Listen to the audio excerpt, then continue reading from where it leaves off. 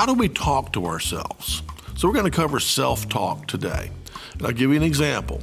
All right, an example uh, that will take us through some options of how this person can choose to talk to themselves. Let's say this salesperson has been working a big deal for their company. The owner's been involved, it's taken a year, sales cycle, lots of people have kind of helped along the way. And at the end of the day, for whatever reason, you know, we didn't win the deal. How is this person going to talk to themselves about this situation? Very important. So, the best way to do it is to look at the positives, look at the bright side.